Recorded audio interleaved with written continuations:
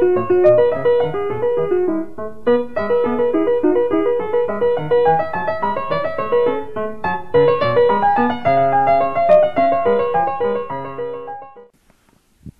third and most useful, most powerful tool in the geoscientist toolbox is the seismic survey. This tool uses sound waves that allow petroleum geoscientists and petroleum engineers to interpret what is in the subsurface. Seismic surveys are made from sound waves that travel through the earth. Like the science used to understand gravity and magnetism, the technology for acquiring, processing, and interpreting seismic waves has been around for a long time. What makes seismic surveys so useful today and why we still use this technology is because powerful computer processing capabilities coupled with advanced software development allow us to record, pinpoint, and interpret with ever increasing accuracy where oil and gas might accumulate. But how do we pinpoint the exact location that will maximize our chances of finding producible oil? To understand the fundamentals of seismic technology, we need to understand the basic scientific principles of sound waves. When you drop a rock into water, a wave is created. It spreads out in a circular pattern. This circular pattern is called the wave front. From the source, we draw a line that serves as a right angle to the wave. We call this hypothetical line a ray. It allows us to give direction to the wave front. If you are in the water, you can feel the motion of the wave as it spreads over and past you, and it causes you to move. Within this wave, the high is called the peak, and the bottom of the wave is called the trough. Natural waves are caused by natural forces on the earth. When you swim in the ocean or a big lake, you can see or feel the motion of the waves as they rush to shore. Just like water waves, we can create sound waves that behave similarly.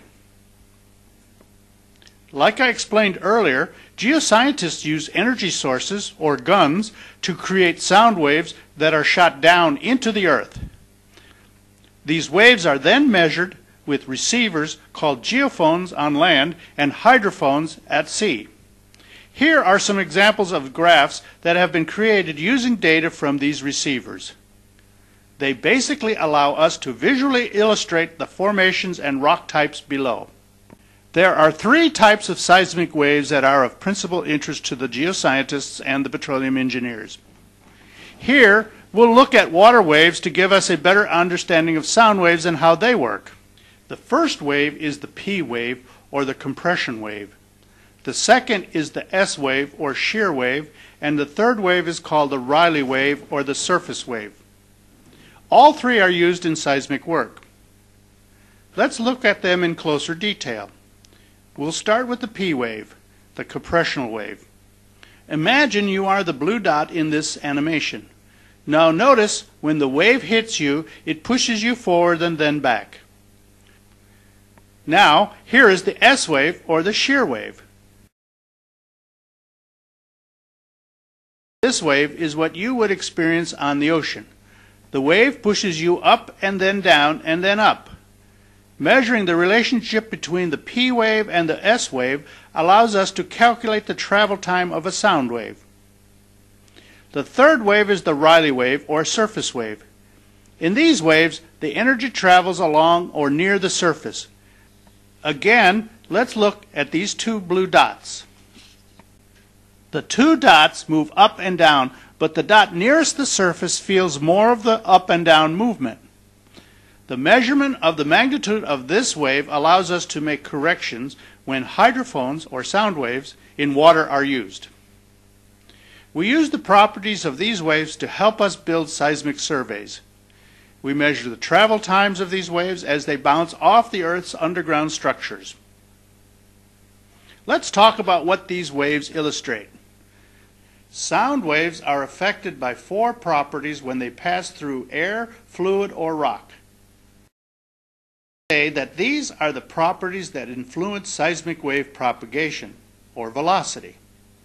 The first property that affects sound waves is the density, or mass divided by the volume. For example, we have already mentioned that sound passes through hard rock faster than soft rock. The second property is the elasticity of matter. With elasticity, matter returns to its original shape after being hit by a wave. Some of the energy is absorbed, but some of it is reflected back. Amazingly, rock is elastic. It will stretch or expand just like an elastic band which after being stretched will return or snap back to its original shape. It is a rock's ability to return to its former shape that makes it elastic. When rock is hit with sound waves, the rock expands and then contracts. Instruments can measure this movement. For instance, hard rock, with tighter stacked atoms, a matrix or crystal, doesn't contract as much as soft rock. The third property that affects sound waves is porosity, or the amount of pore space in the rock. These pores, depending on their size, change the speed of sound waves. If there are big pores, sound waves will pass through slower than if the pores are small or if there are no pores at all. The fourth property that affects sound is the saturation or type of fluid in the pores. For instance, a sound wave passes through water at the fastest rate, it slows down somewhat in the presence of oil, and it slows even further in the presence of gas or air within the pores. All of these properties affect the way sound waves are recorded. By studying their variations, we can determine the density, the elasticity, the porosity, and fluid saturation in the structures below. Ultimately, they allow us to determine formation characteristics such as rock type, depth, and shape.